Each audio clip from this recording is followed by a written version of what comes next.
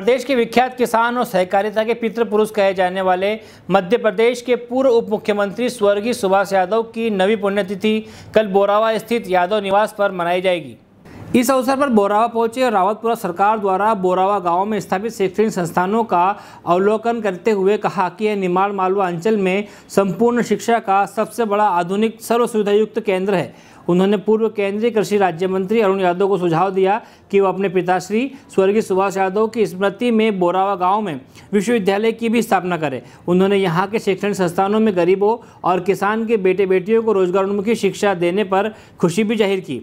पूर्व केंद्रीय कृषि राज्य मंत्री अरुण यादव ने आज शनिवार को सुबह रावतपुरा सरकार को engineering college pharmacy college BEd, MEd, MSc, Priyadarshini school और सरकारी सगर कारखाने का अवलोकन भी कराया। कसरावत से अखिल खान की रिपोर्ट। किसानों के नेता निमाड़ के गांधी कहे जाने वाले स्वर्गीय सुभाष यादव जी की नवी पुण्यतिथि है। कल अ, किस तरीके से कार्यक्रम आयोजित किए गए? स्वर्गीय पिताजी का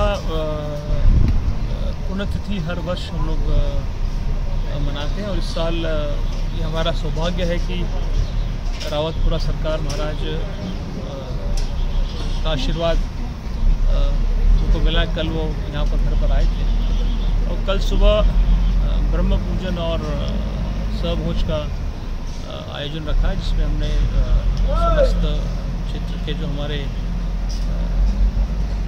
आश्रम के गुरु लोग हैं, उनको बुलाया है। उनका स्वागत सत्कार होगा और महाराज जी का प्रवचन होगा और उसके साथ ही सहभोज का आयोजन जिस तरीके से उनकी प्रसिद्धि है सेता से तो काफ़ी संख्या में लोग आते हैं कुछ वीआईपी के भी आने की उम्मीद है। अब ये इतना लंबा कार्यकाल उनका यहाँ पर रहा है और पूरे निमाड़ क्षेत्र के और प्रदेश भर के साथी कल यहाँ पहुँचे जिस तरीके से राज्य सरकार ने शिक्षण संस्थाओं का अवलोकन किया है तो क्या निश्चित रूप से कल कोई और कोई घोषणा हो सकती है? खुद ही बहुत सारे शिक्षण संस्थान चलाते हैं लगभग उनके आश्रम जो हैं प्रदेश भर में और छत्तीसगढ़ में। बीस हज़ार से ज़्यादा बच्चे उनके संस्थानों में पढ़ते हैं। उनका आशीर्वाद कल हमको मिलने वाला है और हो सकता है कि उनकी कुछ इच्छा होगी उसको पूर्ति करने का, हम भी काम करें हेलो फ्रेंड्स आप देख रहे हैं हमारा channel S W twenty four news हमारे सारे वीडियो सबसे पहले देखने के लिए आप हमारे चैनल को सब्सक्राइब करें और पास में लगे बेल आइकोन को दबाना बिल्कुल भी ना भूलें।